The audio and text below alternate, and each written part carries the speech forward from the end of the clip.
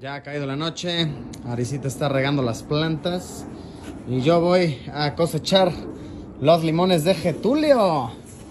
Miren, cuántos limones ya tiene. Chequen eso. Miren estos, este está enorme. Nos dimos cuenta que el pobre Getulio no la está pasando del todo bien. Le cayó plaga de hormigas. Miren eso. Son muchísimas y caen directo hasta los limones. Miren eso devorando. ¿Esto es malo para el limón? Me imagino que sí, ¿no? Pues no, no, no debe ser chido que se estén llenando de hormigas. Miren eso. Guau, son muchísimas recomendaciones. Dice Ari que con agua y jabón. Eh, y así no dañamos a la planta. ¿Qué opinas? Cuento que una vez eh, Ari, antes de que fuéramos novios, se enojó tanto conmigo que le deseó la muerte a Getulio. Le deseó la muerte al pobre Getulio.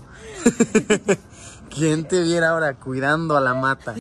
O sea, no le deseó la muerte a Getulio concretamente. Más bien estaba lloviendo muy feo. Y Ari estaba muy enojada conmigo. Entonces fue como, ojalá la lluvia se lleve el árbol de limones de Luis. O sea, fue más contra mí que contra el pobre Getulio.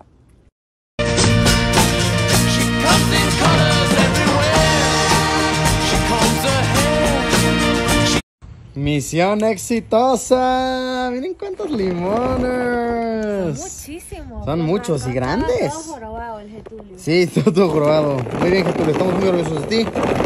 Pronto ya no tendrás hormiguitas. Oigan, no habíamos razonado lo grande que es esta mata. Miren, aquí está el piso. Chequen lo alta que es. O sea, es más alta que Ari. Miren eso. Y Ari es bastante alta. Y nosotros vivimos en un piso muy arriba, a ver si no crece mucho y se cae. Estaría fatal eso, ¿no? Que de la nada la mata crece mucho y se avienta. Ahí te voy, San Pedro. se va. ¿Recomendaciones sobre esa mata? ¿Que crecerá para arriba todavía? ¿Hay manera de hacer que crezca para aquí? ¿Quién sabe?